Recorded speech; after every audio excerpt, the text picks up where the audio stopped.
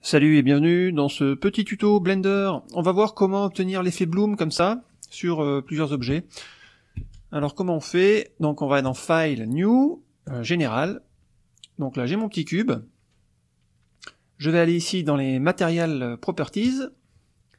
Donc ce premier matériau je vais l'appeler noir. Voilà. Use Node, c'est parfait. Base Color, on va choisir la couleur noire, comme ceci. Euh, pour voir un petit peu ce qu'on fait, on clique là-dessus. Voilà, comme ça on, voit bien notre cube qui est noir. On vérifie qu'on utilise bien le moteur de rendu Eevee. On retourne dans les matériaux. Je vais créer sur le petit plus et je vais créer une couleur d'émission. Donc je clique ici.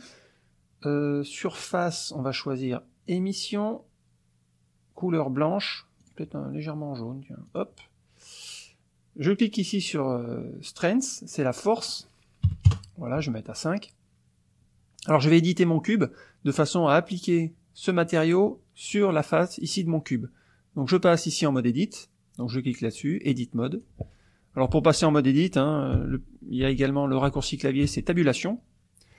On va choisir ici le mode de sélection par face, donc je clique ici sur la face. Je sélectionne mon matériau que je vais renommer émission, voilà, j'appuie sur entrée pour valider, et je clique tout simplement sur assigner. Ouais, c'est ça, assigner. Voilà. On va passer maintenant le paramètre euh, Render Properties. On va cocher Bloom et automatiquement, vous voyez, hop, j'ai le petit effet Bloom qui apparaît. On peut éventuellement changer la couleur ici de notre monde. Couleur, on va mettre une couleur un peu plus sombre, un petit peu plus bleu ici.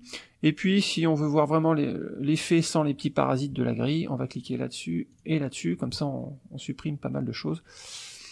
Et voilà notre petit effet.